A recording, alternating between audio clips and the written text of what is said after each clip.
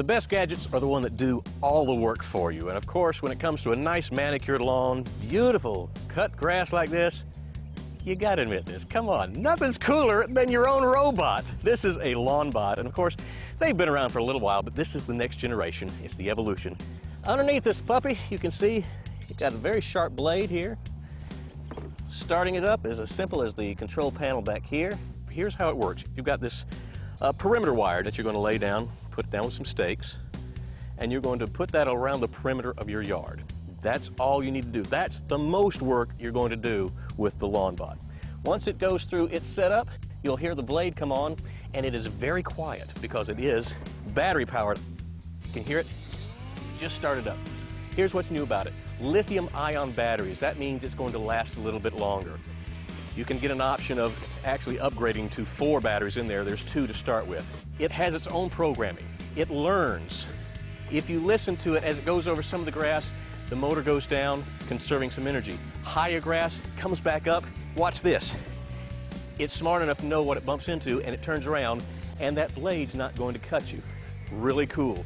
Here's what's really nice about this. It's going to last for about 3,000 plus square feet on one charge before it remembers that it needs to charge itself and it will go back. You don't even have to recharge it. How cool is that? Just sit back and watch it work. Now one thing I did not tell you about the lawn bot is that it's very green. I mean, there's no gasoline. It'll only cost you, get this, only 10 bucks a year to operate. But just because you have a lawn bot, that doesn't get you off the hook with yard work. You've still got to do all the trimming and the edging. So here's our next gadget. It may look like just a regular string trimmer, but it's not. First of all, it's a four-stroke motor. We've told you that those are pretty good for the environment, but instead of burning gasoline and oil mix, this one runs on propane. That's right, just one little bottle of propane you can pick up pretty much at any hardware store.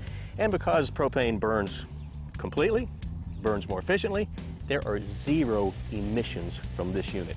Now, think about this, and this may be hard to take, but believe it or not, there are over 100,000 gallons of gasoline spilled each year just when people are trying to do their yard work. So think of all the gasoline that be, be saved with one of these. Here's something else about this. Ready for this? Listen. That's it. It's, it's running right now. Can you believe that, how quiet it is? And it does have the thicker string at the end, so it's very, very well made.